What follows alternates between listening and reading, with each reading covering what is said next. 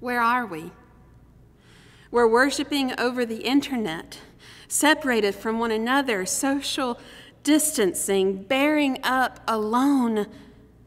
Could anything feel harsher? Could anything feel harder?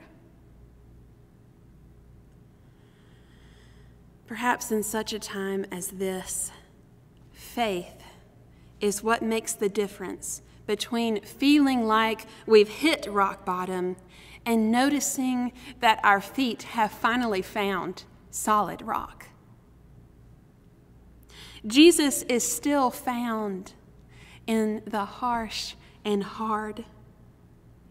Jesus is the foundation. He is here in this place. Perhaps in such a time as this,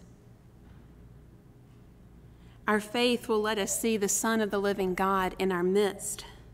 Perhaps in such a time as this, we call out to him, we proclaim him, we seek his lordship and transformation like never before. Perhaps we'll know a power even the gates of hell cannot withstand. And you know that is what we need. Like the first church, we need a power unshakable in the face of occupation, exploitation, marginalization. We need a power unshakable in the face of fear, unknowing, bigotry, and hatred.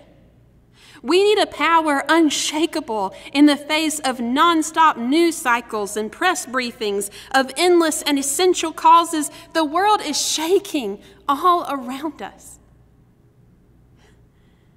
There is reason to clutch at our belongings and scan the crowds.